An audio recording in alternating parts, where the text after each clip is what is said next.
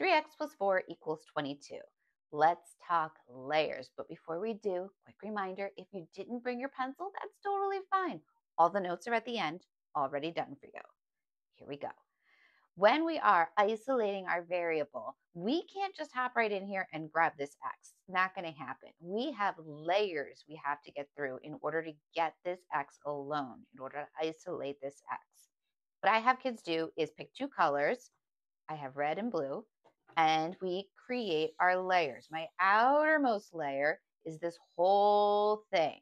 My inner layer, I'm getting closer to my variable.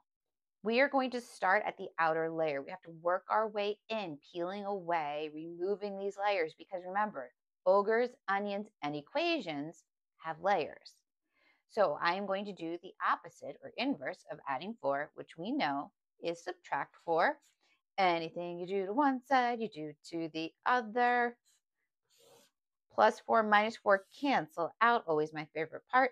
Bring down this 3x 22 minus 4 gives us 18.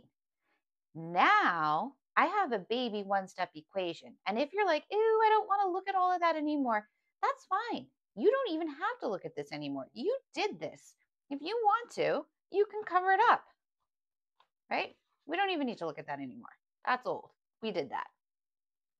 Now I'm going to switch to my red because if you remember, we did do the inner layer in red. And I am going to undo this multiplication glue. So how do I dissolve this multiplication glue of 3 times x? We dissolve it with division. Divide out your 3. Anything you do to one side, you do to the other. These guys cancel out. Technically, that would be 1. Bring down your x. Yay, he's all alone.